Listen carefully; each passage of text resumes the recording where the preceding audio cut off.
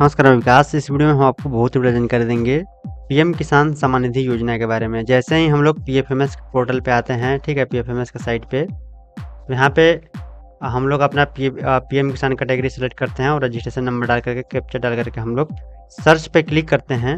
हमें, हमारा registration number से हमारा जो भी पेमेंट्स आया हुआ है, उसका डिटेल्स मुझे नहीं दिखाता। है यहाँ पे मैंने पेमेंट सेलेक्ट कर लिया है। यहाँ पे नो रिकॉर्ड फाउंड आता है। मोबाइल से चेक कीजिए या कंप्यूटर लैपटॉप से चेक कीजिए। बहुत लोगों का यह समस्या होता है कि नो रिकॉर्ड फाउंड बताता है। आखिर और कुछ लोगों का डिटेल्स यहाँ पे दिखता है पेमेंट का डिटेल्स आखिर किन लोगों को दिखता है और किन लोगों को नो रिकॉर्ड फाउंड बताता है, क्या कारण है? सब कुछ जानेंगे इस वीडियो में। प्लीज़ वीडियो को अंत ज़रूर देखिएगा ताकि आपको इसके बारे में कम्प्लीटली इन्फॉर्मेशन मिल सके।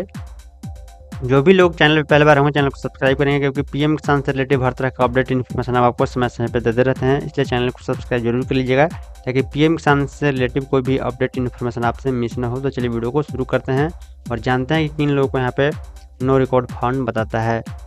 तो यहाँ पे देखेंगे कि यहाँ पे जिन लोगों को यहाँ पे नो रिकॉर्ड फंड बता रहा है, उन लोगों को छः महीने से छः महीने के अंदर कोई भी पीएम किसान का पैसा नहीं मिला होता है, जिस कारण से उनको यहाँ पे नो रिकॉर्ड फंड बताता है। ठीक है, यानी कि सीधे शब्दों में हम बताएँ तो यहाँ पे पीएम किसान का जो पेमेंट्स का डिटेल्स देखना चाहते हैं पी एफ़ के पोर्टल पे, वो यहाँ पे रिकॉर्ड जो रखता है, वो सिक्स छः महीने का ही रिकॉर्ड आपको दिखाता है। छः महीने से ज़्यादा हो जाएगा तो आपको यहाँ पे नो रिकॉर्ड फंड बताएगा। ठीक है छः महीने का जितना भी रहेगा छः महीने के अंदर के, वो सब आपको यहाँ पे पेमेंट डिटेल दिखाएगा। छः महीना से ज़्यादा हो जाएगा तो वो आपको यहाँ पे शो नहीं करता है। यहाँ पे इनका छः महीना के अंदर में कोई भी पेमेंट नहीं मिला हुआ है, जिस कारण से इनको नो रिकॉर्ड फाउंड बता रहा है।